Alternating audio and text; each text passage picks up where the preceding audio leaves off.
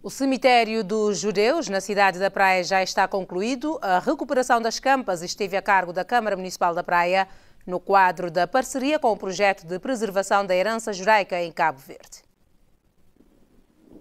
A presidente do projeto conferiu o resultado do trabalho feito no cemitério da Várzea e manifestou-se satisfeita com mais este passo para preservar o património dos judeus em Cabo Verde. Tudo, segundo Carol Castiel, com o objetivo principal de honrar a memória das famílias judaicas que emigraram para Cabo Verde e deram o seu contributo para a economia e a diversidade cultural do país. Principalmente os que vieram no século XIX de Marrocos através de Gibraltar,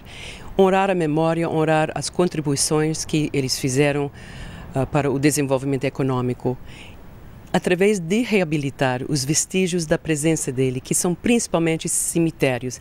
e realmente uh, reconhecer que esses judeus, tanto eles contribuíram para Cabo Verde, mas também eles ganharam muito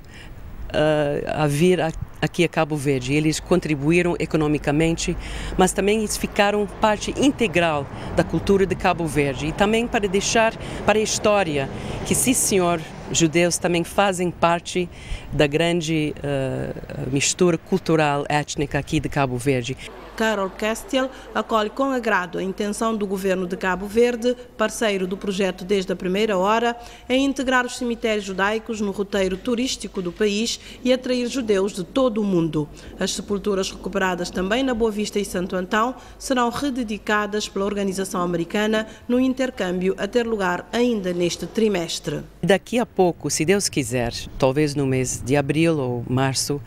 nós vamos levar uma delegação de alto nível com membros do nosso Conselho Executivo da, do projeto da herança de Cabo Verde em, uh, dos Estados Unidos, talvez de Gibraltar e Marrocos, para eles rededicarem, nós rededicamos o cemitério na Várzea e também ter um intercâmbio com membros do governo, com os descendentes aqui uh, em Cabo Verde e, claro, com qualquer outra pessoa que esteja interessada em fazer esse intercâmbio religioso, intercultural. Nós também vamos visitar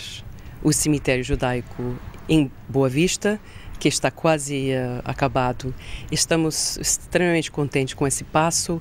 e daí vamos, claro, seguir para Santo Antão, que podemos dizer é quase o capital dos judeus aqui em, em, em Cabo Verde